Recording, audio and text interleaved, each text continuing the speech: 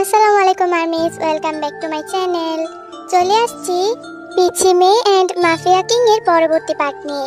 তোমরা যারা যারা আগের পার্টগুলো দেখোনি, তারা গিয়ে আগের পার্টগুলো দেখে আসো। না হলে তোমরা এই পর্বের কিছুই বুঝতে পারবে না। তাহলে চলো, বেশি কথা না বলে শুরু করা যাক। যেহুক ইয়ঙ্গিকে নিয়ে ধানমন্ডির এক বাসার সামনে এসে গাড়ি থামালো। তখন ফ্ল্যাটে আরও কিছু সময় থেকে যেহুক ইয়ঙ্গিকে নিয়ে এখানে এসেছে। ইয়ঙ্গি বাসাটা দেখে বলল, এটা কার বাসা? এই বাসাও কি আপনি কিনেছেন নাকি? জব মুচকি এসে বলল, তোমার হবু জামাইয়ের এত টেহা নাইকা এইটা আমার বাসা না। তাহলে? সব কিছু কি এখানেই শুনবা আগে চলো। গেলেই দেখতে পাইবা। ইয়ঙ্গি মুচকি এসে গাড়ি থেকে নামলো। যে হোক গাড়ি লক করে ইয়ঙ্গিকে নিয়ে বাসার দরজায় এসে বেল বাজালো। একটু পরে একজন বয়স্ক লোক এসে দরজা খুলে দিল। লোকটি জেহবকে দেখে খুশি হয়ে বললেন, আরে জেহব বাবা, তুমি এসেছ? এসো এসো, ভেতরে এসো। যিশু তো তোমাকে দেখে খুশি হয়ে যাবে। লোকটি জেহব আর ইয়ঙ্গিকে সানন্দে ভেতরে নিয়ে সোফায় বসালেন। ইয়ঙ্গি কিছু বুঝতে পারল না, কে এই লোক? জেহবকে দেখে এত খুশি বা হচ্ছে কেন? লোকটি এবার উৎসাহিত কণ্ঠে তার স্ত্রীকে ডাকতে লাগল। যিশু যিশু, দেখো কে এসেছে, তাড়াতাড়ি এসো। একটু পরে ওনার স্ত্রী ভেতর থেকে বেরিয়ে এলেন। মহিলাটি জেহুবকে দেখে আরও খুশি হলেন, যেন ওনার হারিয়ে যাওয়া সন্তান খুঁজে পেয়েছেন। মহিলাটি খুশি হয়ে জেহুপের মাথায় হাত বুলিয়ে নানান কথা বলতে লাগলেন। ইয়ঙ্গি শুধু তাকিয়ে তাকিয়ে এদের কাণ্ড দেখছে। একটু পর জেহুপ গম্ভীর কণ্ঠে ওই বয়স্ক দম্পতির উদ্দেশ্যে বলে উঠল, আপনারা আমাকে আগে বলেছিলেন আমাকে আপনারা অফিসিয়ালভাবে অ্যাডপ্ট করে আপনাদের ছেলে বানাতে চান। আমি তখন রাজি হইনি, কারণ আমার এইসব ভালো লাগতো না তখন। আর না কোনো প্রয়োজন মনে করতাম। তবে এখন আমি রাজি আছি। আপনারা যদি চান তাহলে আমি আপনাদের ছেলে হতে প্রস্তুত।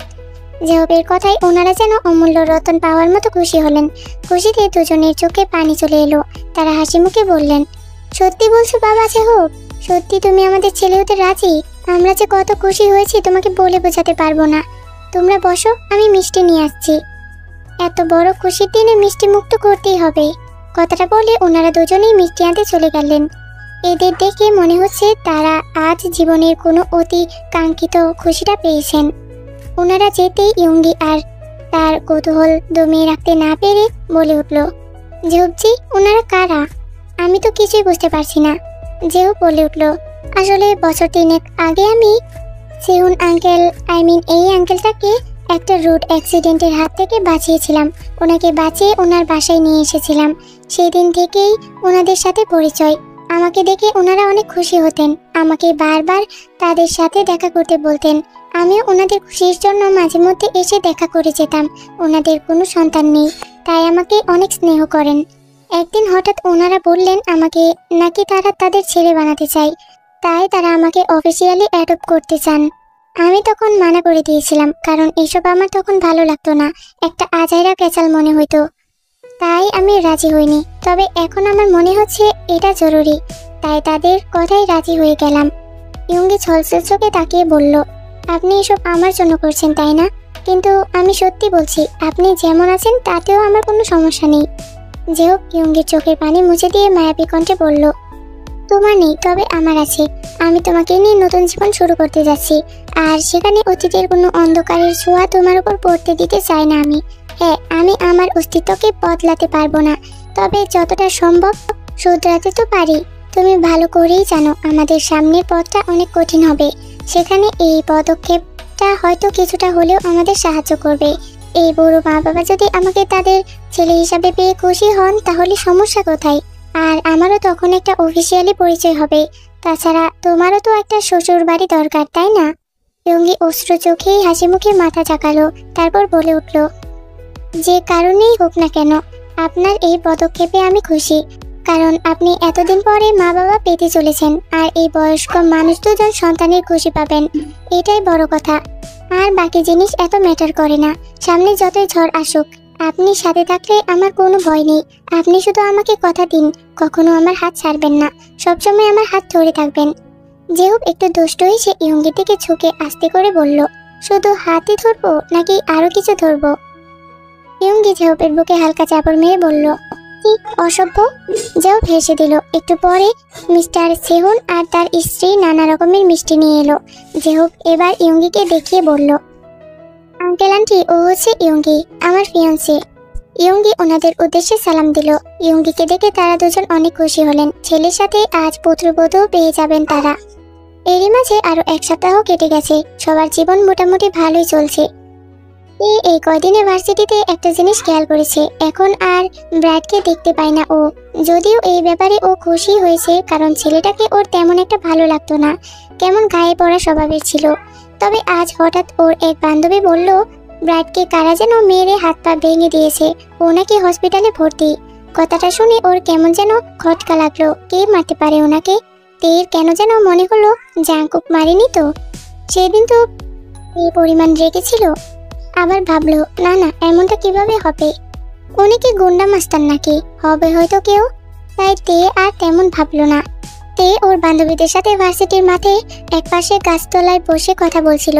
তখনই হঠাৎ ওখানে একটা আঠারো, উনিশ বছরের ছেলে এসে তে দিকে তাকিয়ে বলল, তে আপু, আপনি প্লিজ আমার সাথে একটু হসপিটালে যাবেন। ব্রাইট ভাইয়াকে দেখতে উনি আপনাকে যেতে বলেছেন। তে থতমত কে বলল আরে, আমি কেন যাব ওনার সাথে দেখা করতে? আর আপনাকে তো আমি চিনিই না। অপরিচিত লোকের সাথে আমি কেন যাব? ছেলেটি মিনতি সুরে বলল, প্লিজ আপু, মানা করবেন না। ব্রাইট ভাই খুবই অসুস্থ। সে শুধু আপনার সাথে পাঁচ মিনিট দেখা করতে চাইছে। প্লিজ, চলুন না, আপনাকে রিকোয়েস্ট করছি। আপনি যদি একা যেতে সাহস না পান, তাহলে আপনার ফ্রেন্ডসদের সাথে নিয়ে চলুন। তে পড়ে গেল এক মুশকিলে। কি করবে ভেবে পাচ্ছে না। তের এক বান্ধবী বলে উঠল, এত করে বলছে যখন, চল না। একটা অসুস্থ মানুষের কথা এভাবে মানা করা ঠিক হবে না। অগত্যা অনিচ্ছা সত্ত্বেও তে যেতে রাজি হয়ে গেল। তবে ও একা যাবে না, ওর ফ্রেন্ডসদের সাথে নিয়ে গেল ও। হসপিটালে সে ব্রাইডের কেবিনের সামনে আসতে সেই ছেলেটি আবার বলে উঠল, আসলে কেবিনে একসাথে এতগুলো মানুষ যেতে মানা করেছে, ডক্টর। তাই শুধু তে আপু ভেতরে গিয়ে দেখা করুক। আমরা বাইরেই ওয়েট করি। সবাই রাজি হয়ে গেল, অতপর শুধু তে একাই কেবিনের ভেতর ঢুকলো। ভেতরে ঢুকে দেখল ব্রাইড বেডে চোখ বন্ধ করে শুয়ে আছে। মাথায় আর হাত পায়ে অসংখ্য ব্যান্ডেজ। তে একটু বেডের কাছে এগিয়ে গিয়ে আস্তে করে ব্রাইডকে ডাকলো। ব্রাইড ভাইয়া? তে ডাকে ব্রাইড চোখ খুলে তাকালো। তেকে দেখে হাসার চেষ্টা করে বলল, আরে তে, তুমি এসেছ? বসো না। এই সৌজন্যমূলক হাসি দিয়ে বেডের পাশে থাকা টুলে বসল। তারপর ব্রাইডের দিকে তাকিয়ে বলল, কেমন আছেন ভাইয়া? আর এসব কীভাবে হলো? ব্রাইড একটা তিরস্কারী হাসি দিয়ে বলল, নিজেই আমার এই অবস্থা করে আবার জিজ্ঞেস করছ কীভাবে হলো? ব্রাইডের কথাইতে অবাক হয়ে বলল, কি বলছেন এসব? আমি কীভাবে আপনার এই অবস্থা করলাম? হ্যাঁ তুমিই তো করিয়েছো। আচ্ছা বলো তো, আমি কি কখনো তোমার সাথে খারাপ আচরণ বা অযাচিত কোনো কাজ করেছি? তাহলে নিজের বয়ফ্রেন্ডকে দিয়ে আমাকে এভাবে মার খাওয়ানোর মানে কি? আমাকে যদি তোমার এতই অসহ্য লাগে তাহলে আমাকে সেটা বলে দিতে, তাহলেই তো আর আমি তোমার সামনে আসতাম না। তাই বলে আমার সাথে এমন করবে তুমি? তে যেন ভেবাচেকা হয়ে গেল। কি বলছেন উনি? আমার আবার বয়ফ্রেন্ড কোথা থেকে আসলো? আর সেই বয়ফ্রেন্ড কিনা আবার ওনাকে মেরেও গেল? তে বিস্মিত কণ্ঠে বলল কি বলছেন ভাইয়া এসব? আমি তো কিছুই বুঝতে পারছি না। যেখানে আমার কোনো বয়ফ্রেন্ডই নেই, সেখানে তাকে দিয়ে আপনাকে মার খাওয়ানোর প্রশ্ন কোথা থেকে আসলো? আপনার নিশ্চয়ই কোথাও ভুল হচ্ছে। কেন? মিস্টার জিয়ন জাকুব তোমার বয়ফ্রেন্ড না? তুমি তাকে বলনি আমাকে মারতে? তে এবার স্তব্ধ হয়ে গেল। জাঙ্কুক জাঙ্কুক মেরেছে ওনাকে? কিন্তু কেন? আর আমাকে তো কিছু বলেনি? তে একটা গেলে বলল, "জা- জাঙ্কুক আপনাকে মেরেছে? হ্যাঁ কেন তুমি জানো না? তে মাথা নাড়ালো মানে সে জানে না। ব্রাইড এবার একটু গম্ভীর কণ্ঠে বলল, হুম, বুঝতে পারছি। তার মানে সে তোমাকেও অন্ধকারে রেখেছে, তোমাকেও তার জালে ফাঁসিয়েছে। তে কাপা কাপা কণ্ঠে বলল, "মা- মা- মানে? দেখো তে, তুমি যাই ভাবো না কেন, আমি তোমাকে সত্যিকারের বন্ধু ভেবেছি, আর সবসময় তোমার ভালোই চেয়েছি, তাই তোমাকে কিছু কথা বলতে চাই। কি কথা? তার আগে তুমি বলো তো, তুমি জাঙ্কুকের সম্পর্কে কতটুকু জানো? উনি আমাদের বাসায় কিছুদিন হলো পেন গেস্ট হয়ে এসেছে। উনি বিদেশ থেকে এসেছে কোনো বিজনেসের কাজে। ব্যাস, এতটুকুই। হুম, যা সন্দেহ করেছিলাম তাই। তের বুকের ভিতর কেমন যেন ধুক ধুক করছে। কেমন যেন ভয় লাগছে ওর।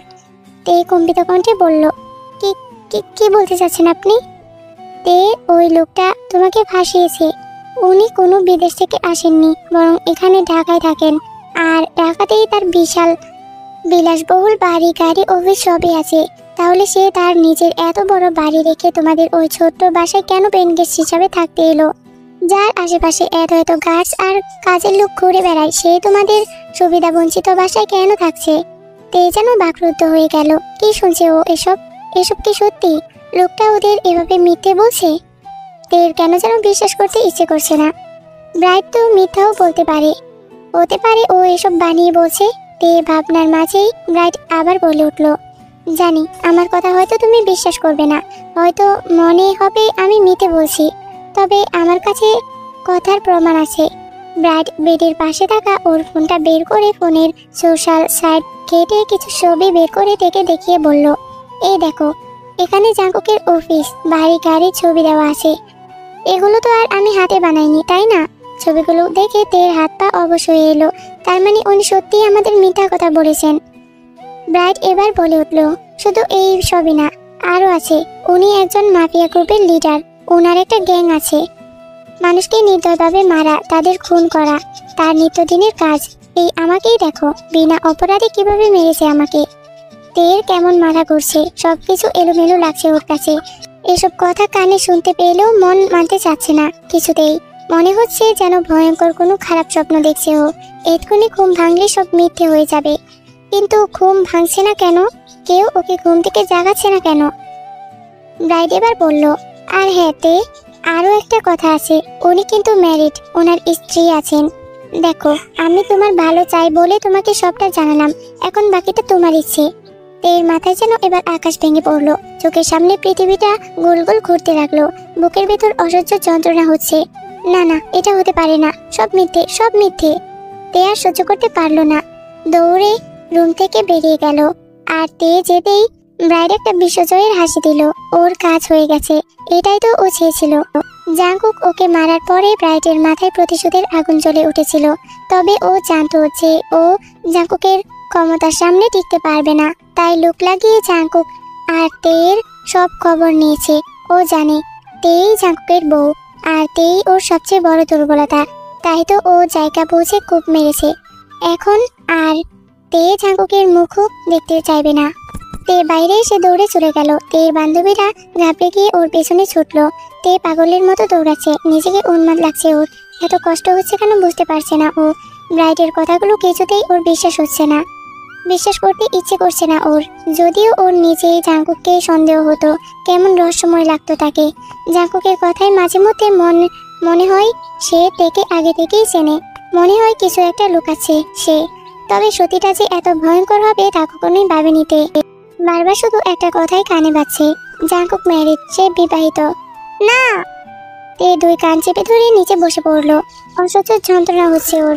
তের বান্ধবীরা দৌড়ে এসে তের কাছে বসে ওকে চিন্তিত সুরে বলল, এই তে, কি হয়েছে তোর? এমন করছিস কেন? তে ওর বান্ধবীদেরকে দৌড়ে ফুপিয়ে কেঁদে উঠল। ওর বান্ধবীরাও আরও ঘাবড়ে গেল।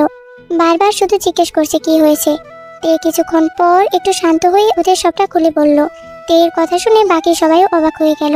তের এক বান্ধবী বলে উঠল আচ্ছা একটা কথা বলতো এইসব শুনে তুই এত কাঁদছিস কেন? তার মানে কি তুই ঝাঁকুক ভাইয়াকে ভালোবেসে ফেলেছিস তে এবার চুপ হয়ে অবাক চোখে তাকিয়ে রইল। এই প্রশ্নের উত্তর তো ও নিজেও জানে না। সত্যি তো ওর এত কষ্ট হচ্ছে কেন? আমি কি তাহলে সত্যি ওনাকে ভালোবেসে ফেললাম? একটু পরে তের বান্ধবীরা ওকে ধরে একটা চেয়ারে বসালো। তে আরেকটা বান্ধবী বলে উঠল আচ্ছা তুই কাঁদিস না। আমরা বিষয়টা ভালো করে খোঁজ নিয়ে দেখি। আগেই কোনো মন্তব্যে আসা ঠিক হবে না। ইন্টারনেটের যুগে কোনো কিছুই বের করা অসম্ভব না। কথাটা বলে ওর বান্ধবী ফোন বের করে জাকুকের সব সোশ্যাল সাইট চেক করতে লাগল। তে শুধু মনে মনে আল্লাহর কাছে দোয়া করছে, ব্রাইটের সব কথা যেন মিথ্যে হয়ে যায়, সব যেন ভুল প্রমাণিত হয়। তবে তেকে নিরাশ করে দিয়ে ওর বান্ধবী মলির মুখে বলে উঠল, ইয়ার, তে, ব্রাইট ভাইয়া যা বলেছে সত্যিই ঠিক বলেছে। সোশ্যাল সাইটে ওনার সব ডিটেলস দেখা যাচ্ছে। হ্যাঁ মাফিয়া হওয়ার ব্যাপারটা নিয়ে নেটে তেমন কিছু পেলাম না। তবে ওনার রিলেশনশিপ স্ট্যাটাস ম্যারিড দেওয়া আছে। তবে ওনার বউয়ের কোনো ছবি কোথাও নেই। তে এবারে সত্যি সত্যি ভেঙে পড়ল। ওর জীবনে হঠাৎ এমন মোড় আসবে ভাবতেই পারিনি ও। সব কিছু দেখার পরও কেন যেন ওর এসব বিশ্বাস করতে ইচ্ছে করছে না। তের এক বান্ধবী বলে উঠল, এমনও তো হতে পারে উনি মিথ্যে স্ট্যাটাস দিয়ে রেখেছে। অনেকে এমন করে থাকে, যাতে কোনো মেয়ে তাকে বিরক্ত না করে। তের যেন একটা আশার আলো দেখতে পেল। মনে মনে বলল, এমনটাই যেন হয়। তের আরেক বান্ধবী বলে উঠল, আমরা এক কাজ করি, নেটে তো জাঙ্কুকের অফিসের বাসার অ্যাড্রেস দেওয়া আছে। আমরা সেখানে গিয়ে খোঁজ নিয়ে দেখতে পারি, তাহলে আসল ব্যাপারটা বেরিয়ে পড়বে। ওর কথাই সবাই সায় দিয়ে বলল হ্যাঁ হ্যাঁ ঠিক বলেছিস। চল, এখনই যাই। অতপর সবাই জাঙ্কুকের অফিসের উদ্দেশ্যে বেরিয়ে পড়ল। জাঙ্কুকের অফিসে এসে অফিসের সিকিউরিটির কাছে জাঙ্কুকের সম্পর্কে জানতে চাইলো। তেকে অফিসের কেউ দেখেনি। তাই ওরা তেকে চিনতে পারল না। সিকিউরিটি প্রথমে কিছু বলতে চাইলো না। তবে ওরা অনেক অনুনয় বিনয় করে আর কিছু টাকা খাইয়ে সিকিউরিটির মুখ খুললো। আর সিকিউরিটি যা বলল তাতে ওদের শেষ আশাটাও মাটিতে মিশে গেল। সিকিউরিটি ওদের বলল, জাঙ্কুকের বাড়ি গাড়ি আরও কি কি আছে? আর এটাও বলল যে জাঙ্কুক বিবাহিত। আর সে নাকি তার বুকে অনেক ভালোবাসে। তে আর শুনতে পারল না। মুহূর্তেই যেন সবকিছু ধ্বংস হয়ে গেল ওর। ওর ভালোবাসাটা যে এভাবে শুরু হওয়ার আগেই শেষ হয়ে গেল। কেন হলো ওর সাথে এমন? কি দোষ করেছিল ও? কেন এত বড় ধোকা পেল ও? তের বান্ধবীরা চাঙ্কুকের বাসায় যেতে চাইলো, তবে তে মানা করে দিল। বারবার একই কথা শোনার সাহস আর তার নেই। ওর বান্ধবীরা ওর অবস্থা বুঝতে পেরে ওকে আর জোর করল না। ওকে নিয়ে রিক্সায় উঠল বাসায় যাওয়ার উদ্দেশ্যে। জাঙ্কুক একটা রেস্টুরেন্টে মিটিংয়ে এসেছে। দোতলায় একটা ওপেন রুফ রেস্টুরেন্টে বসে মিটিং করছে। তখনই ওখানে ইয়ঙ্গি ওর ফ্রেন্ডসদের সাথে এলো এনজিওর একটা মিটিংয়ে জাঙ্কুককে দেখে ইয়ঙ্গি হাসি মুখে এগিয়ে গিয়ে বলল, আরে ভাইয়া, তুমিও এখানে? জাঙ্কুক ও ইয়ঙ্গিকে দেখে সেও হাসি মুখে উঠে দাঁড়িয়ে ইয়ঙ্গিকে এক হাতে জড়িয়ে ধরে বলল কিরে ইয়ঙ্গি কেমন আছিস? এখানে কোনো দরকারে এসেছিস? হ্যাঁ ভাইয়া, এনজিওর একটা মিটিংয়ে এসেছি। অনেক ভালো একটা কাজ করছিস তুই। I am so proud of you thank you ভাইয়া। তে রিক্সা একটা সিগনালে এসে থেমে আছে। ওর সাথে ওর বান্ধবীরা বসে আছে। ওর বান্ধবী জেনি এদিক ওদিক তাকাচ্ছে। তখনই কিছু একটা দেখে প্রকোচকে তেকে উদ্দেশ্য করে বলল, তে, এই তে, ওটা জাঙ্কুক ভাইয়া না? বান্ধবীর কথা মতো তে ওর ইশারা অনুযায়ী সেদিকে তাকালো। দেখতে পেল জাঙ্কুক একটা মেয়েকে এক হাতে জড়িয়ে ধরে দাঁড়িয়ে আছে। তে হৃৎপিণ্ড যেন কেঁপে উঠল। হাত পা ঠান্ডা হয়ে এলো। তের বান্ধবী বলে উঠল। লোকটা তো দেখছি সত্যিই খারাপ। কেমন মেয়ে বাজি করে বেড়াচ্ছে। ঘরে বউ রেখে বাইরে রঙ্গলীলা করে বেড়াচ্ছে। কত বড় ইতর। ছি ছি। তে আর সহ্য করতে পারল না। ইচ্ছে করছে কোনো একদিক পালিয়ে যেতে। বুকটা তুমড়ে মুচড়ে যাচ্ছে ওর। নিঃশ্বাস নিতে কষ্ট হচ্ছে। এমন একটা লোককে কীভাবে ভালোবাসলো ও? তে ক্লান্ত শরীরে বাসায় ঢুকলো। নিজেকে অনুভূতি শূন্য মনে হচ্ছে ওর। হঠাৎ চাঙ্কু খুট করে সে কোনো কিছু না বলে তের হাত চেপে ধরে টেনে নিয়ে যেতে লাগল। তের হাত ধরে ওর রুমে নিয়ে এসে দেয়ালের সাথে চেপে ধরে চল শক্ত করে রাগে কণ্ঠে বলে উঠল সে, তুমি ওই ব্রাইটের সাথে দেখা করতে কেন গিয়েছিলে? তোমাকে আমি মানা করেছিলাম না? ওর সাথে কোনো কথা নেই তোমার? তারপরেও কেন গিয়েছিলে বলো? তে দর্জের পাত ভেঙে গেল এবার। আজকের সব কষ্ট রাগ এবার বিস্ফোরণে পরিণত হলো। রাগে শরীর কেঁপে উঠল ওর। রেগে উঠে দুই হাতে জাঙ্কুকে ধাক্কা মেরে সরিয়ে দিল। আচমকা তের ধাক্কায় জাঙ্কুক দু কদম পিছিয়ে গেল। তে এমন কাজে অবাক চোখে তাকালো জাঁকুক। তে এবার ক্ষিপ্ত সুরে বলে উঠল, কেন? কি করবেন আপনি? আমাকেও মারবেন নাকি? যেভাবে ব্রাইডকে মেরেছেন, বলুন? জাঙ্কুক তের কথায় একটু চমকে গেল। তে এই কথা জানলো কি করে? নিশ্চয়ই ওই বদমাস ব্রাইডটা বলেছে। জাঙ্কুক বলে উঠল তে আমার কথা শোনো। তুমি যা ভাবছ তেমনটা না। কথাটা বলে জাঙ্কুক তের কাছে আসতে নিলে তে তার হাত উঁচু করে রাগী কণ্ঠে বলে উঠল, খবরদার, একদম আমার কাছে আসার চেষ্টা করবেন না। আর এখন আমি ঠিকই ভাবছি, বরং এতদিন যা ভাবছিলাম সেটাই ভুল ছিল। আপনি কি ভেবেছিলেন? আপনার আসল চেহারা আমি কখনো ধরতে পারব না? আপনি আমাদের পোকা বানিয়ে যাবেন আর আমরা আপনার জালে ভেসে যাব? এর এসব কথা জাগো প্রচুর অবাক হয়ে গেল। ওর অ্যাঞ্জেলটা এভাবে কথা বলছে কেন? কি হয়েছে ওর? জাগক অবাক সরে বলল, তে, কে, কি বলছো তুমি এসব? কিসের আসল চেহারা? তে একইভাবে বলতে লাগল, একদম সাধু সাজার চেষ্টা করবেন না, আমি আপনার সব মিথ্যে জেনে গেছি। আপনি কোনো বিদেশ টিদেশ থেকে আসেননি, বরং ঢাকায় থাকেন আপনি। তাহলে আমাদের মিথ্যে কথা কেন বললেন? নিজের এত বড় বাড়ি রেখে আমাদের ছোট্ট এই বাড়িতে কেন থাকছেন আপনি বলুন? চাঙ্কুক আরও চমকে গেল, তে, এসব কিছু কীভাবে জানলো? এখন কীভাবে বোঝাবে ওকে? ওকে সত্যিটাও বলতে পারবে না। চাঙ্কুকে চুপ থাকতে দেখে তে তাচ্ছিল্য সরে বলে উঠল, কি হলো? আর কথা বের হচ্ছে না। চুরি ধরা পড়ে গেছে এখন। আর কোনো কথা বের হচ্ছে না, তাই না? বলুন বলুন কেন করেছেন এসব? আমাদের তো তেমন কোনো ধন সম্পত্তিও নেই। তাহলে কিসের জন্য? আমার জন্য? আমাকে হাসিল করার জন্য এসব করেছেন, তাই না? জাকুব প্রভুজকে তের দিকে তাকালো। তের কথার আগামাতা কিছুই বুঝতে পারছে না ও। তে এবার অস্ত্র চোখে কাবা কাবা কণ্ঠে বলল আপনার লজ্জা করে না? নিজের ঘরে বউ থাকতে অন্য মেয়েদের পিছনে ঘুরে বেড়ান। অন্য মেয়েকে নিজের প্রেমের ফাঁদে ফাঁসান আমাকেও আপনার জালে ফাঁসাতে চাইছিলেন, তাই না? আর কতজনকে এভাবে ফাঁসিয়েছেন হ্যাঁ? এতক্ষণ কিছু না বললেও এবার তের কথা শুনে জাঙ্কুক নিজের রাগ কন্ট্রোল করতে পারল না। উচ্চস্বরে বলে উঠল, তে, স্টপ ইট তে। অনেক বলেছ তুমি। এমন কিছু বলো না যার জন্য তোমাকে পরে পস্তাতে হয়। পস্তাতে তো আমাকে হচ্ছেই। আপনাকে বিশ্বাস করে আমাকে পস্তাতে হচ্ছে। আপনি চলে যান চলে যান এখান থেকে। আপনাকে এই বাড়িতে আর দেখতে চাই না আমি। জাঙ্কুক আহত চোখে তাকালো তের দিকে। ওর অ্যাঞ্জেলটা ওকে চলে যেতে বলছে?